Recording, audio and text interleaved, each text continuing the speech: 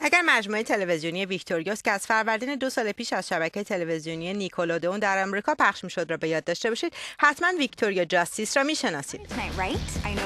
این بازیگر 18 ساله نقش اول فیلم تینیجری فان سایز را بازی می کند فیلمی به کارگردانی جاش شوارتز. جاستیس در این فیلم نقش یک دختر دبیرستانی را بازی می‌کند که به یک میهمانی هالووینی دعوت شده است ولی حاضر است خود را به خاطر برادر کوچکش به خطر بیاندازد. این فیلم اولین تجربه سینمایی جاستیس است و می‌گوید اولین بار است که نقش اصلی را در یک فیلم بازی می‌کنم و در مورد اینکه آیا هیجان زده یا نگران هستم باید بگویم کمی هر دو.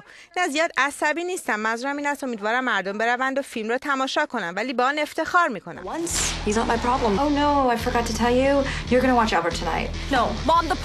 فیلم فانتاز به ظاهر برای نوجوانان ساخته شده اما در آن در اون مایه های از بزرگسالی هم دیده می شود جاسیس می‌گوید امیدوار است این باعث شود فیلمش مخاطبان بیشتری را به خود جلب کند.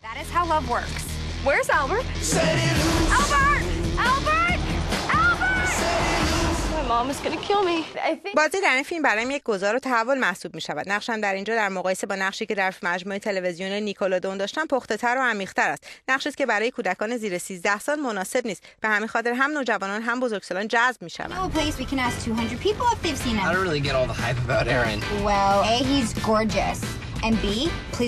فیلم فانسایز از روز پنجشنبه 4 آبان در سینماهای آلمان، قطر و آمریکا به نمایش درآمده است.